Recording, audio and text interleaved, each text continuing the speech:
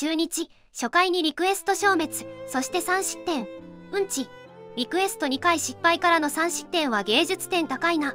初回ワンアウトでリクエスト2回使い切るお笑いは想像できなかった面白い。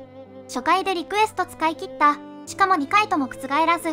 大谷の西満塁見終わった後中日の試合見始めたら初回で2回のリクエスト権消滅しててビビった。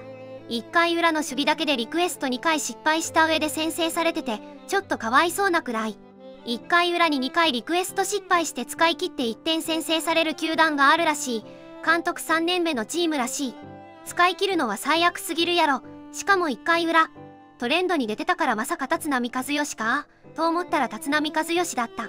俺も普通にアウトに見えたし中田翔がアピールしてたからあれはするでしょう。立浪悪くないだろう。失敗して結局失点って何してるんですか？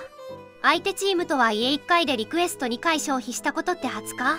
審判舐めてるとか思われても仕方ないぞ。プレイ自体見てないから、何ともだけど、本当に大事な場面で誤審でもされたらどうするんだご視聴ありがとうございました。